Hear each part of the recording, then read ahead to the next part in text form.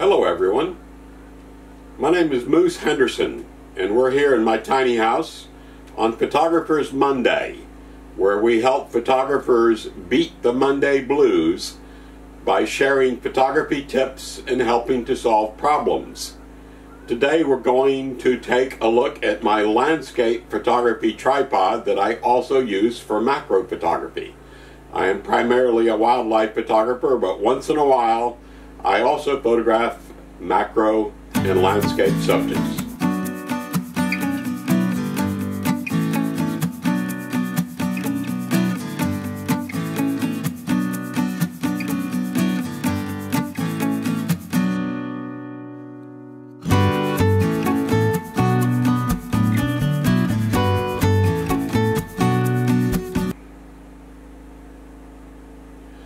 Normally when I'm in the field I carry my big tripod.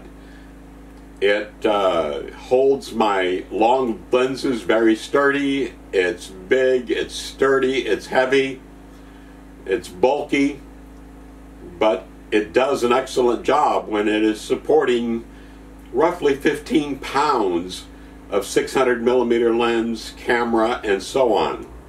When I'm doing landscapes, I want to be able to travel light and easy and there's no need to carry that big honking tripod. So I carry my smaller tripod. It is an Alta Pro 263 AT. As you can see it's roughly 20 inches long, has the three legs. Three legs will adjust so you can go up and down or just go to specific stops. It has the closures on the side that allow you to quickly expand this or to shrink it back down.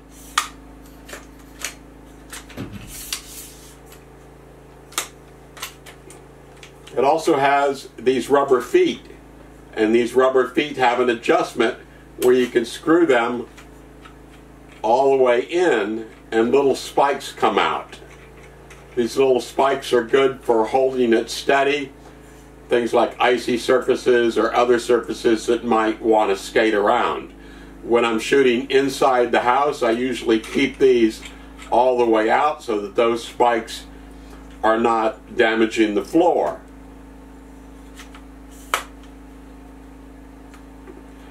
So let's take a look at how how this little tripod functions. It's a good little tripod. It weighs just maybe a pound and a half.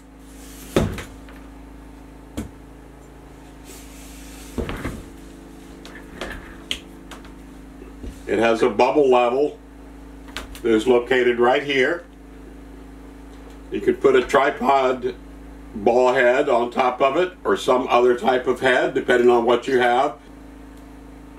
You have a knob over here that controls the pan of the monopod leg. You can also loosen this knob to be able to raise the monopod up and down. But I'm not a big fan of a center column except when it has a functional use and we'll see what that functional use is in a little while. I tend to think of a center column as a monopod on three legs. Okay, so we could take our camera and place it, well first we need to flip the bracket. This is just an all an Arca Swiss bracket on the bottom of my camera and you can put this in here. And so as you can see now we're ready to shoot landscapes. But let's say you also want to do macro work instead of just landscape work. And a lot of times macro work you have a flower that's over here and it has maybe a little insect on it and stuff and you can't get the tripod up right next to it because macro work is done really close. So the advantage of this little tripod is it allows you to rotate the head. You bring the center column up and take it completely out. The center column has a little stop down here that you press and that allows you to take this completely off. And then you release this clamp and that allows you to raise the portion of the bracket up. And now you take and put your camera back in to this or you you take the monopod and put it back in here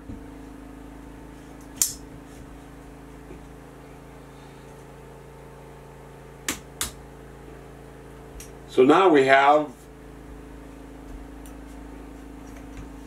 a support that can go out to the side and be able to photograph like an insect that's right over here without getting the legs in the way. And all we got to do is adjust our camera and things like that. So as you can see that makes it really convenient. So even though this is a center column that I'm not very fond of, it does serve a very essential purpose when I'm doing macro photography. Because now if I need to move just a hair of an inch, I can do it like that without having to move the entire three legs all over the place and scare the heck out of the insect. Another thing you could do is hang a little sandbag from off here at the other end to help counterbalance the weight of the camera. So that gives you a pretty good idea of how this tripod works. It's not big, giant, and sturdy like the big honkin' wildlife photography tripod that I have, but when you're doing landscape photography, your entire setup weighs maybe three or four pounds. The camera and the lens, maybe two pounds, the tripod, the head, everything like that, another two pounds. You're maybe up to four pounds total. So give this tripod a, a try. I find it to be a very good solution for what I need and it serves more than one function. So thanks for joining us on Photographers Monday. Please hit the like button if you found this to be beneficial. Also subscribe to our channel and hit the bell icon so that YouTube will notify you each time we upload a video. We do a video at least once a week helping you solve photographers' problems and taking you on photography trips. I will see you all next time. Thank you.